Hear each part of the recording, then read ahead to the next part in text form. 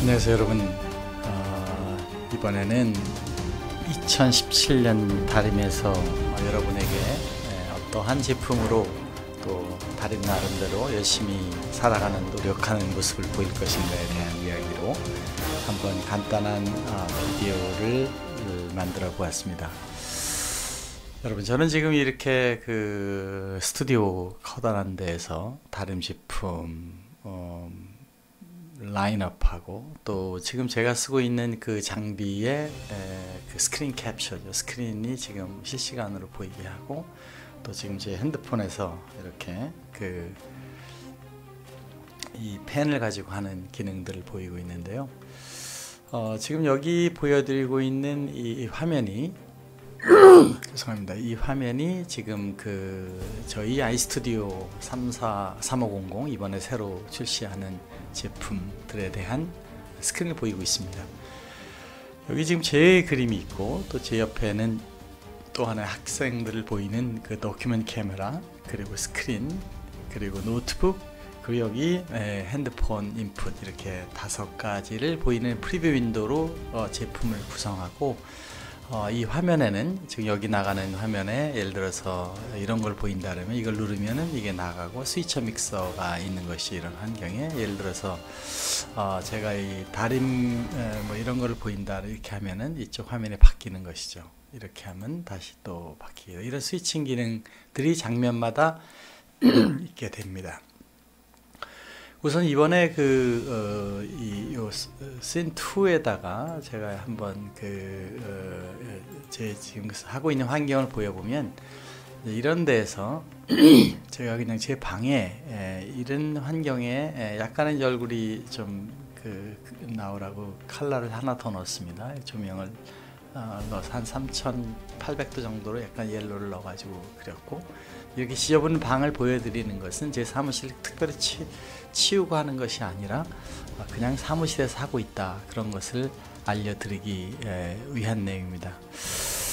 여기에 이제 약간의 그런 그 컬러가 이렇게 묵어 나오는 게 있는데 지금 이제 이런 조명 상태라서 그렇지만 그것도 한번 바꿔 보여드리도록 하겠습니다. 만약 제가 여기서 크로마키를 모드로 가게 되면 이런 화면이 나오는데 거기에서 여기 그린 부분을 살짝 여기를 가지고 어, 조정을 어, 시켜주면 없어지게 됩니다. 다 없어지게 됐죠. 또 여기 보시는 것처럼 제가 이 파란 칼라와 이것이 사실 그 크로마키 어려운 환경이지만 다 잘 빠질 수가 있다 하는 부분이고 다 실시간으로 제가 보여드리고 있는 것입니다. 올해 여러분에게 보이는 것 중에서 이 Miracast와 노트북을 쓴 것은 이런 환경을 많이 쓰기 때문에 제가 한번 이쪽 화면에 이 미러캐스트가 되게끔 어, 여기를 눌러 보면은 이렇게 이제 제가 나오고 있는데 이것은 삼성 펜에서 이 펜에서 이 앞에다가 이 그리는 것이 나오는 겁니다. 그리면 되죠. 여기 뭐 어, 학교 이렇게 하면 되듯이 이런 것들을 자유자재로 해서 여기서 뭐 칼라도 바꿀 수가 있죠. 마음대로 바꾸고 또 내용도 바꾸고 이렇게 할 수 있는데 그런 기능들을 다 어, 실제로 실시간으로 하면서 쓸 수 있다라는 기능을 나타내기 위한 것입니다.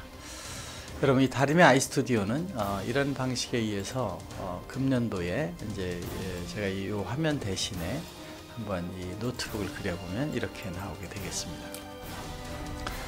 어, 그 모니터 3에는 어, 아까 말씀드린 것처럼 다림의 그림을 놓고 여러분 기억하게끔 이렇게 설명을 드려보면 다 실시간으로 어, 제가 지금 그 주변에 아무도 없이 그런 걸 하고 있는 거죠. 이, 이, 그 부분을 강조하기 위해서 한번 저기다가 아무도 없다는 이 환경을 놓고 보여드리겠습니다. 어, 지금 금년도의 화두는 어, 그 일반적으로 했던 그 퍼스널 컴퓨터, 이 퍼스널 컴퓨터라고 했던 것과 같이 personal station, 어, 개인 방송국 개념을 만들어야 되겠다. 그래서 어, 이 스튜디오라는 것을 통해서 이번에 더 앞서진 버전이 나오는데 이 스튜디오, M 스튜디오의 그 노트북 버전을 만들어서 personal station을 하겠다는 것이 있고 또 하나는 그래도 이 방송 환경 같이 뭐 오디오 비디오가 다 되게 하려면 아무래도 이 마이크로 어, 한 있지만 방송국이 되는 것을 해야 되겠다 해서 이렇게 all-in-one으로 전 세계에서 아마 다림만이 이런 걸 만든 것 같습니다. 이 크로마키도 조립식으로, 책상도 조립식으로, 소위 콘솔이라고 하는 이제 그 모니터 같은 걸 놓는 거죠. 그런 것도 다 어, all-in-one으로 DIY로 여러분들이 직접 설치할 수 있게끔 그렇게 그 만들려고 하는 부분들이 되겠습니다. 또 더 나아가서는 여기 있는 것처럼 그 어, 교실 안에서 지금 일어나는 어, 상당히 많은 그 강의들이 왜 그 녹화가 되고 있지 않는가? 강의실에서 선생님들이 소중하게 하는 것들이 다 동영상으로 강의로 전 세계에 보여지면 될 텐데 도대체 이런 그 교실에서 어떻게 하면 그 강의가 만들어질 거에 대한 것도 다 다림에서 새로 나온 AI 기능으로 만들 수 있게 한 것입니다. 또 이런 큰 그 강당과 같은 곳에서 이런 이런 강당에서 가시면은 이 발표자가 잘 보이지 않습니다. 또 그 거기에 질문하시는 분도 누가 하시는지 얼굴 볼 수가 없는데 반해서 다림의 새로운 넥스 비전이라고 하는 VR presenter 기술을 쓰게 되면 그런 건 역시 다 해결을 할 수가 있는 새로운 기술로 우리가 프레젠테이션의 문화를 바꾸는 그러한 것을 할 예정에 있습니다. 여러분 이 스튜디오의 product line은 그동안에 이렇게 그 세트 어, 스튜디오를 만든 데서 스위처 믹서 기능과 virtual green을 이용하는 스튜디오 기능들이 있었는데 다림에서 새로 나온 M과 I 스튜디오는 어, 이런 공간에서 여러분들이 비전문가라 하더라도 멋진 방송을 만들어내는 기술을 만들었고 그걸 이용해서 이렇게 교회 같은 이벤트 현장에서 어, 그동안 나왔던 기존의 에, 스튜디오 방식이 아닌 새로운 방식으로 하는 것이 만들어져서 멋진 강의가 멋진 설교가 현장에서 있는 것 이상으로 원격지에서 볼 수 있게 되는 그러한 것에 초안점을 두고 개발을 했습니다.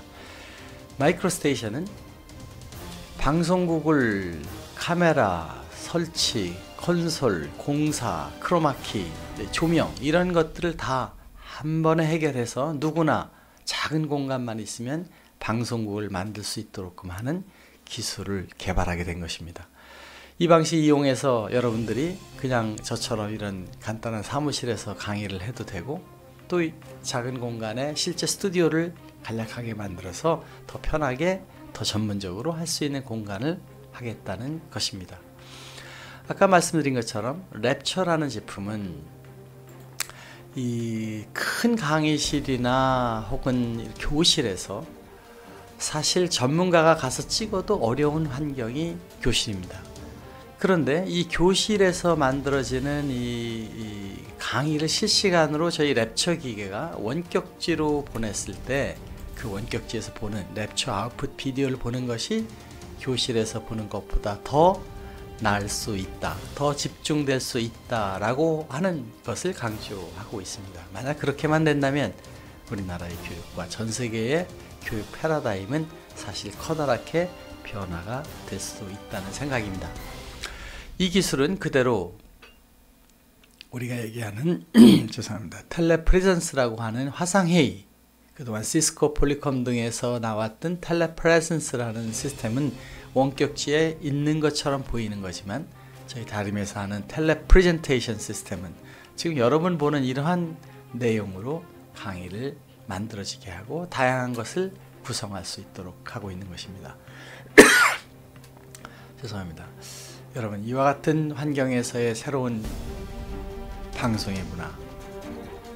또 그런 방송이 이제는 정보통신처럼 방송통신위원회처럼 방송과 통신이 융합됐을 때 그것이 4G, 3G, 5G를 통해서 이제 새로운 고속으로 전 세계 방방곡곡에 여러분이 프레젠테이션 하는 텔레 프레젠테이션이 실제 가서 하는 것 이상으로 될 수 있다면 그것이야말로 새로운 문화를 만드는 새로운 교육의 변화를 만드는 커다란 영향을 줄 것이다. 저는 그런 데 대해서 개인적으로 확신을 갖고 있습니다.